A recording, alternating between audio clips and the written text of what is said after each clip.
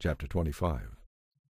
Then this message came to me from the Lord Son of man, look toward the land of Ammon, and prophesy against its people. Give the Ammonites this message from the sovereign Lord.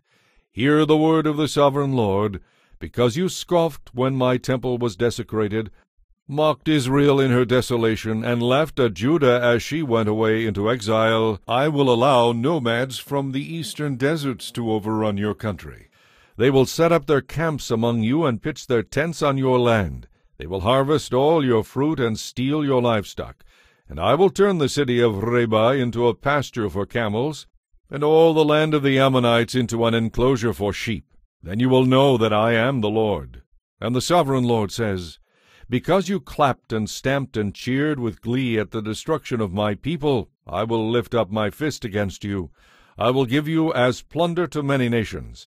I will cut you off from being a nation and destroy you completely. Then you will know that I am the Lord.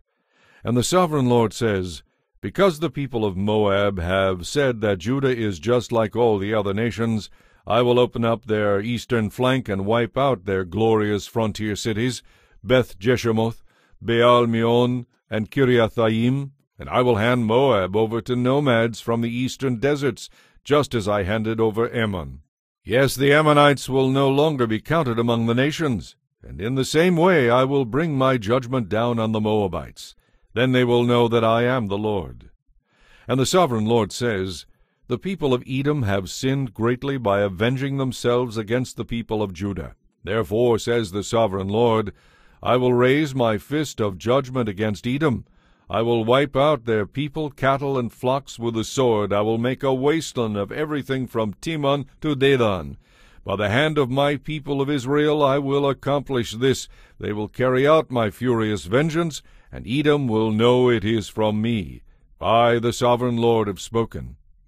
And the sovereign Lord says, The people of Philistia have acted against Judah out of revenge and long-standing contempt. Therefore, says the sovereign Lord, I will raise my fist of judgment against the land of the Philistines. I will wipe out the Cherethites and utterly destroy the people who live by the sea. I will execute terrible vengeance against them to rebuke them for what they have done. And when I have inflicted my revenge, then they will know that I am the Lord.